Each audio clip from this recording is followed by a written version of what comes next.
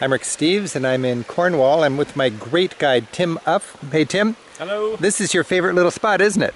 It is my favourite spot in Cornwall, I've got to say. And the name is? Penberth Cove. And we're going to keep it a secret because we do not want it inundated with American travelers. Absolutely not. The name again?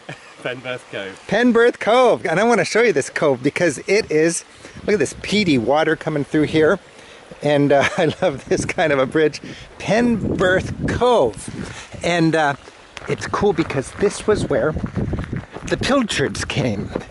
And you see this capstan here this big thing the fishermen would crank around and they'd hoist their boats up on this rugged little pond. I mean, look at how charming this is. Oh man. And they would crank their boats up and their boats would be loaded down with pilchards. Pilchards are like big sardines.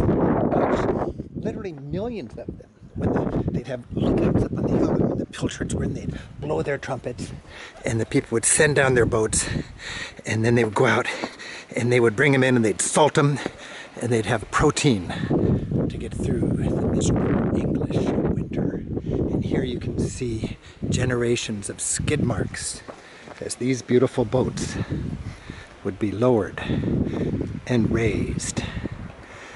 And time and time again, from the wild sea of Cornwall. They'd bring in the pilchards. They'd press them, they'd salt them, they'd have food through the winter, and the oil would go to power the lamps in London. Today, no more pilchards. Happy travels.